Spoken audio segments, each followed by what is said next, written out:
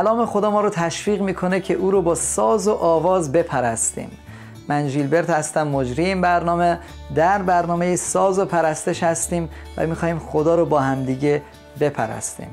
در این برنامه شما می‌تونید اشعار یا سرودهایی رو که نوشتین رو بفرستید و ما بعضی از اونها رو اجرا خواهیم کرد و یا می‌تونید صدای خودتون رو ضبط بکنید و به صورت MP3 اون رو به ما بفرستید و بعضی از اونها رو ما پخش خواهیم کرد. خدا شما رو برکت بده. بیایید با همدیگه خدا رو بپرستیم.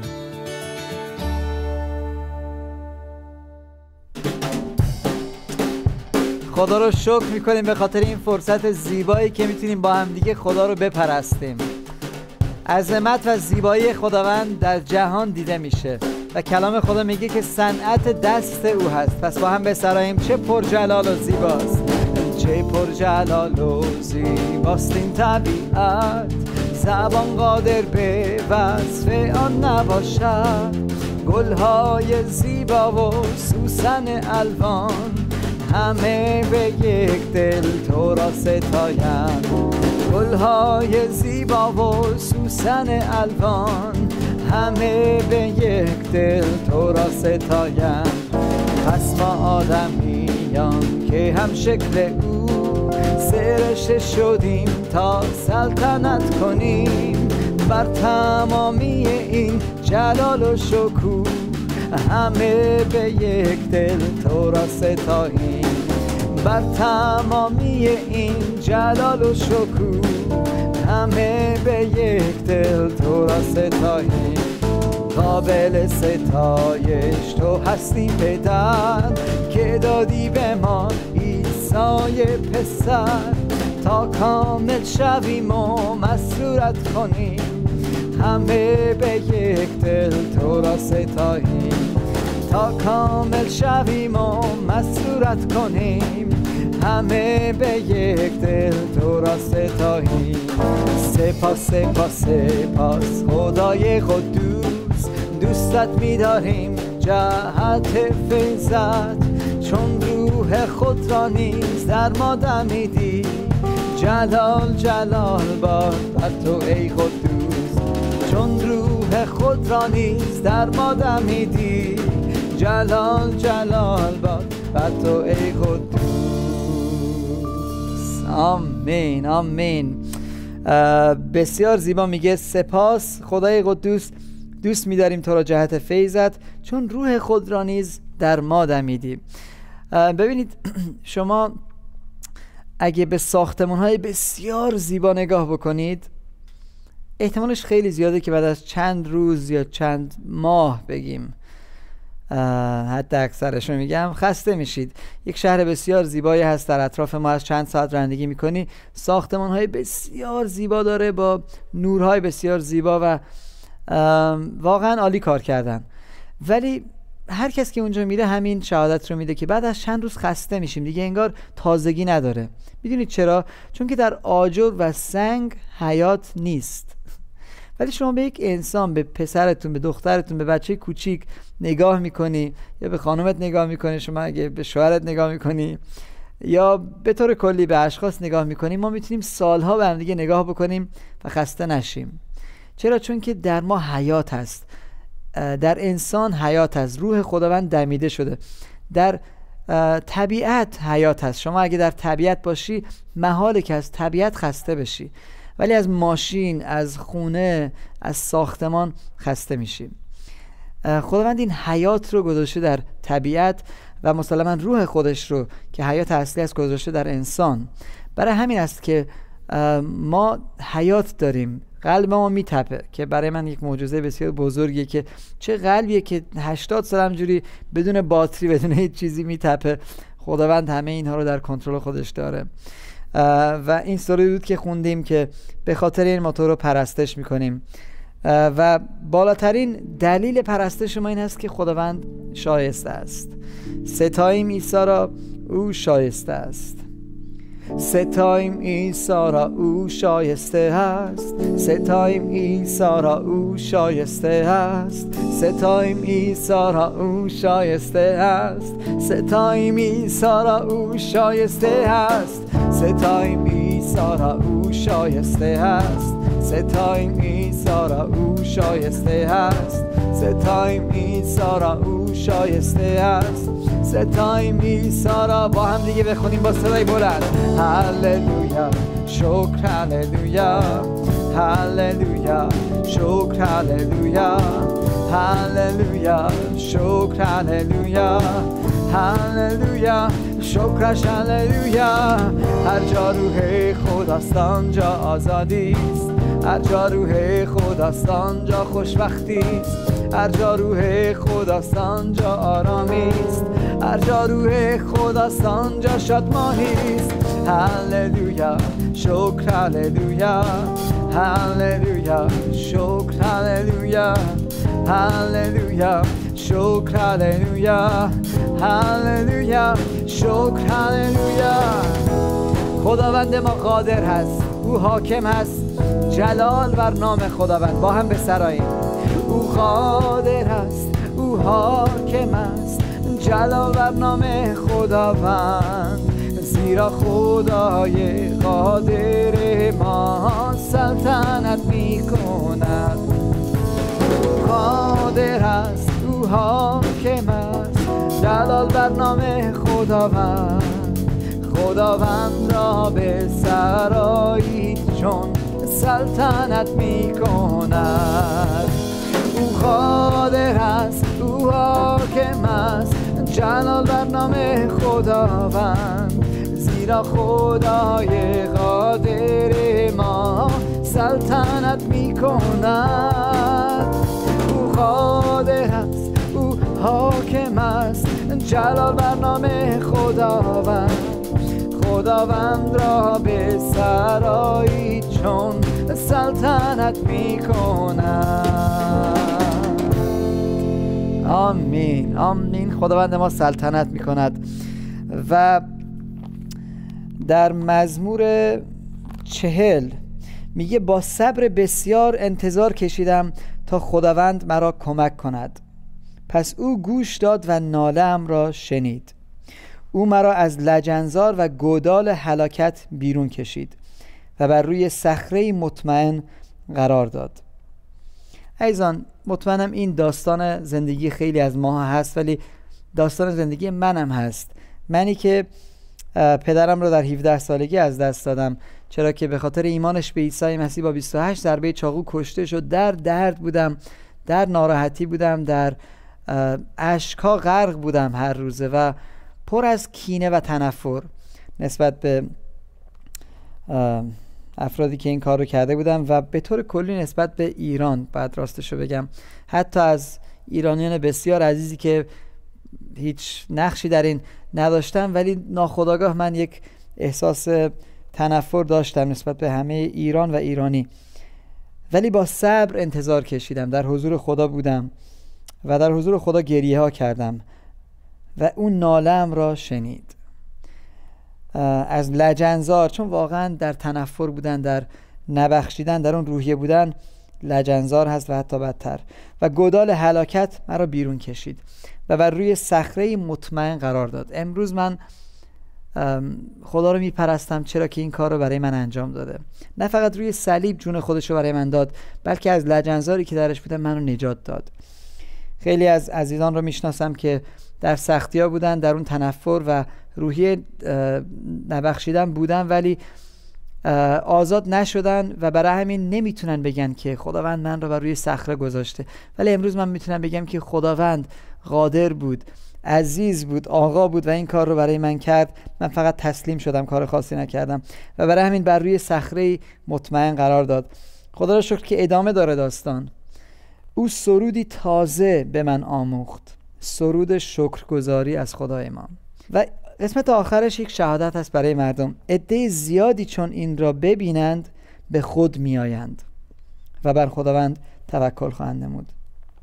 امیدوارم اگه زندگی من و شهادت کوتاهی رو که الان دادم رو شما می‌بینید میشنوید به خداوند توکل بکنید. و تمام اینها باعث بشه که شما امیدتون رو توکلتون رو بر خداوند بگذارید.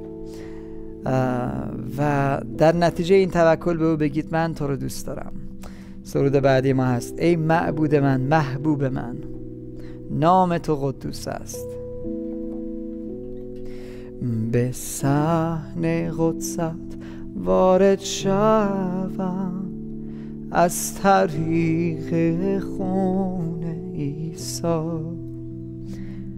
تنها بهر پرستش تو بهر اکرام و حمدت خدا. ای معبود من محبوب من. ای معبود من محبوب من. نام تو قدوس است. قدوس یا نام تو قدوس است. قدوس یا به صحن قدست وارد شوم از طریق خون عیسی تنها بهر پرستش تو بهر اکرام و حمدت خدا. به خداوند بگو این رو. ای معبود من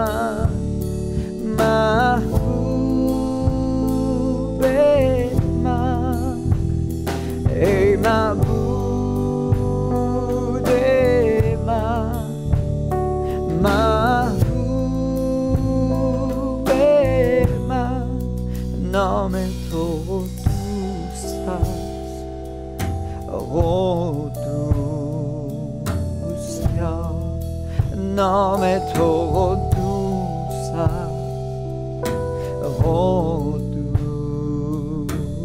یا دعا کنیم. بله خداوند تو رو شکر می‌کنیم. چرا که نام تو قدوس است. و ما رو هم تو مقدس می‌سازی. خداوند تو رو شکر می‌کنیم که گوش تو شنوا هست. تویی که به ما گوش دادی میشنوی. تویی که به ما زبان دادی سخن می‌گویی. تویی که به ما چشم دادی همه چیز رو می‌بینی. خداوند تویی که به ما فکری دادی برای فکر کردن برای ما فکر می‌کنی. تویی که به ما اراده دادی و قوت و قدرت تصمیم گیری دادی تو اراده ای داری نیکو برای تک تک ما. و آینده ما در دستای توست. نام تو قدوس است.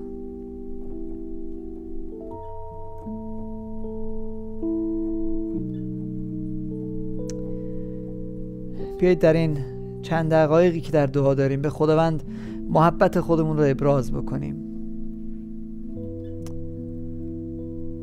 هر چیزی که در قلب داری به خداوند بگو. بگو که خداوند دوستت دارم.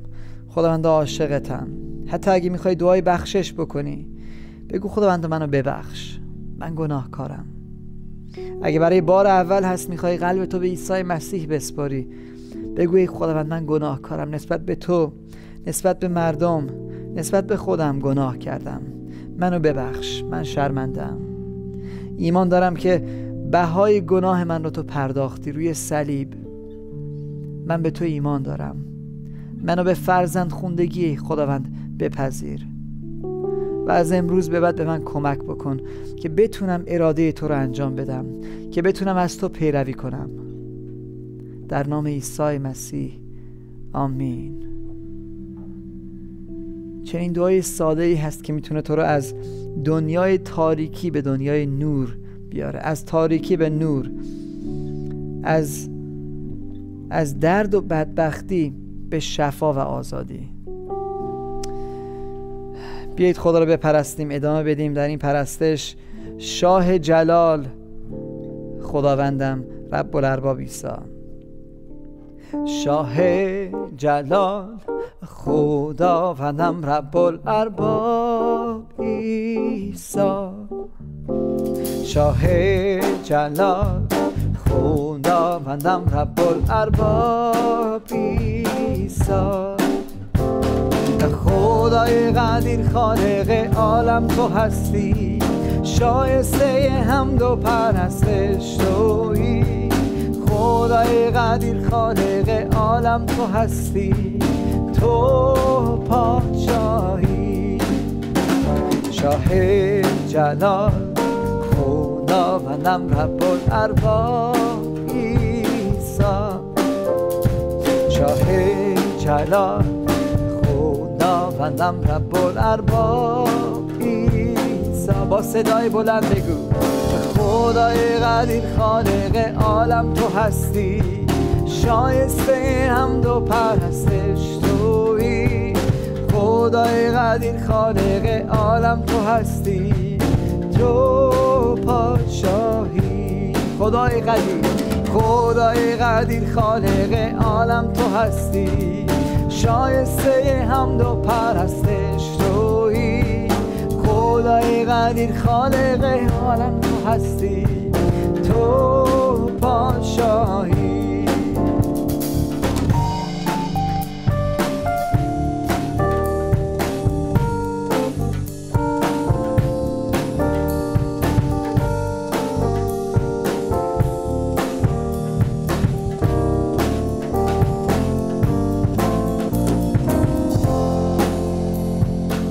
شاه جلال شاه جلال.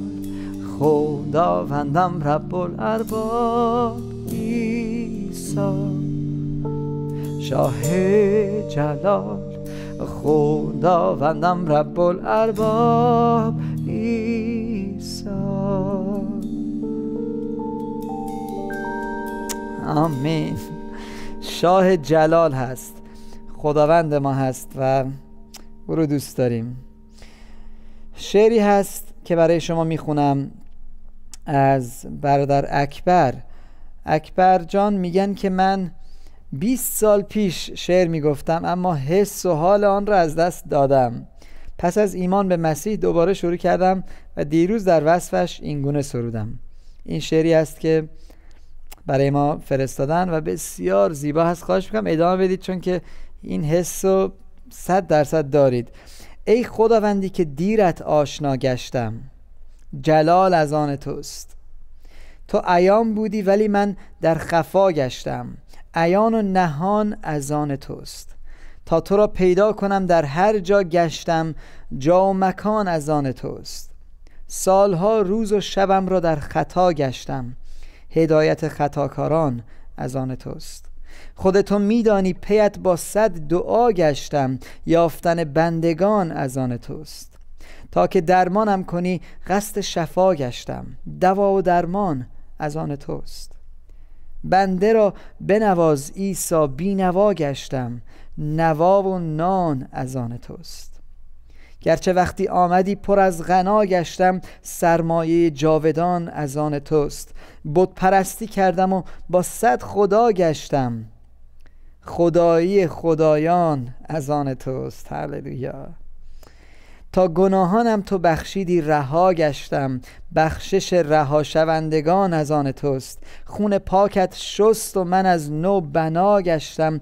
پاکی دوباره متولد شدگان از آن توست. پاکی دوباره متولد شدگان از آن توست. ببخشید. پا تا سر اکبر از مهرش سنا گشتم پذیرش پرستندگان از آن توست.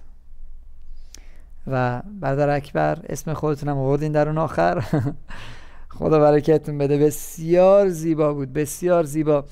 من معمولا اون شعرهایی رو که درش یک تناقضی دیده میشه خیلی دوست دارم که از دنیا گفتید که گمگشتگی سرما بیپناهی همه اینها. ولی بعد پناه من تویی سرمایه من تویی حیات تویی نور تویی و یک تناقض بسیار زیبایی ایجاد کردین. خدا برکتتون بده. و من فکر می‌کنم اگه اشتباه نکنم یادم رفت که برادر عزیز رو معرفی بکنم. یکی از دوستان بسیار عزیز من هستن هراک که خیلی خیلی ممنون راک جان که تشریف آوردی. یکی از دوستان بسیار خوب من هست شخصی بسیار خوب من هست و شبان کلیسا هستم و با فروتنی دارن خدا رو خدمت می‌کنن و پر از استعداد هستن.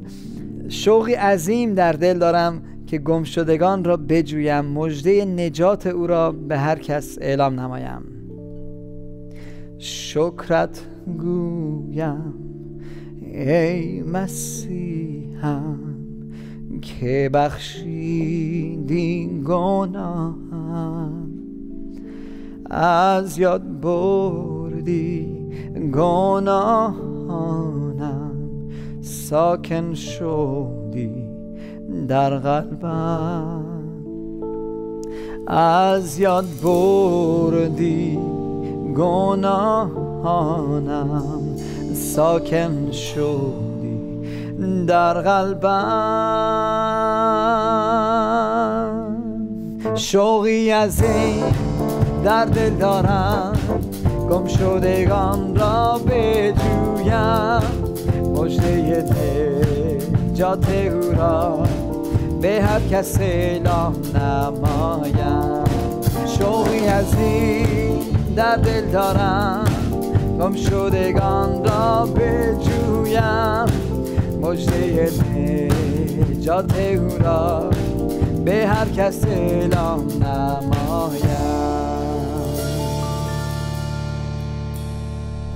بسیاری از مردمان در وادی گناه مستقیب و سرگردانند پی آب حیاتند مستقیب و سرگردانند پی آب حیاتم. شوقی از این در دل دارم. گم شدگان را بجویم. مجده نجات او را به هر کس اعلام نمایم. شوقی این در دل دارم. گم شدگان را بجویم مجده نجات او را به هر کس اعلام نمایم. امر عیسی را بشنوید.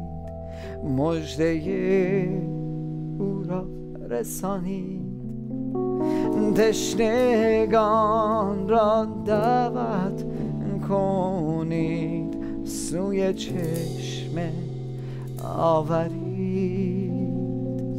تشنگان را دعوت کنید. سوی چشمه آورید شوقی از این در دل دارم. گم شدگان را بجویم. مجده نجات او را به هر کس اعلام نمایم. شوقی از این در دل دارم. گم شدگان را بجویم. مجده نجات او را به هر کس اعلام نمایم آمین. آمین و چقدر زیباست اگه این شوق عظیم در ما باشه برای رسوندن و دادن مژده خوش انجیل. مزمور چهلی رو که برای شما خوندم در ادامش میگه چهل آیه چار خوشا به حال کسانی که بر خداوند توکل می‌کنند. و از اشخاص مغرور و بود پرستی پیروی نمی کنند ای خداوند خدای ما هیچ کس مانند تو نیست. تو همیشه به فکر ما بوده ای و برای ما کارهای عجیب کرده ای. به حدی که نمی‌توان آنها را برشمرد و زبان من نیز از بیان آنها عاجز است. داوود پادشاه این رو میگه. سراینده مزمور داوود هست. و در ادامه میگه که تو خواهان قربانی ها و هدایا نیستی. خیلی وقتا فکر می‌کنیم که من چه کار می‌تونم برای خدا انجام بدم؟ چه کاری از دست من برمیاد؟ خدا از من چی می‌خواد؟ چه کار واسش انجام چه کار واسش بکنم؟ ولی خداوند نمی‌خواد از تو هدایا و قربانی های سوختنی و نمی‌دونم بره رو بیاری خونش رو بریزی سرش رو ببری. آقا قربانی نمی‌خواد. و هدایای تو رو نمی‌خواد. احتیاج نداره به اونها. تو احتیاج داری به هدایا دادن ولی خدا احتیاج نداره به هدیه گرفتن. ولی ببینیم چی می‌خواد. میگه اما تو گوش شنوا به من داده ای تا کلام تو را بشنوم. بعد میگه دستورات تو را عمل بکنم اراده تو را به جا آورم تعلیم خود را در دل حفظ کنم. خداوند اینو می‌خواد. خدا هدایا نمی‌خواد از تو. خداوند می‌خواد اون هدیه ای که او به تو داده اون رو قبول بکنی. خداوند می‌خواد عیسی مسیح که هدیه هست از آسمان به زمین او رو قبول بکنی. نه اینکه هدیه بدی. و وقتی که اون هدیه خداوند رو قبول می‌کنی کلام خداوند هدیه خداوند هست. نامه عاشقانه او هست به ما. وقتی اون رو قبول می‌کنی در نتیجه اون بله هدایا برای خداوند میاری. مثلا هدایای سوختنی یا قربانی سوختنی منظورم نیست ولی هدیه پرستش رو برای خداوند میاری. می‌خوام در آخر برنامه بگم که دوستتون دارم خیلی زیاد و آرزوی من هست که یک روز با هم دیگه این هدیه زیبای پرستش رو با هم دیگه در یک جا باشیم و در حضور خداوند بیاریم.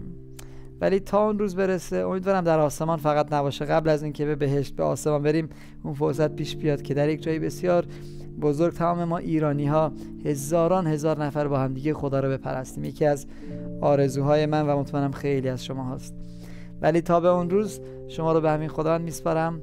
خداحافظ.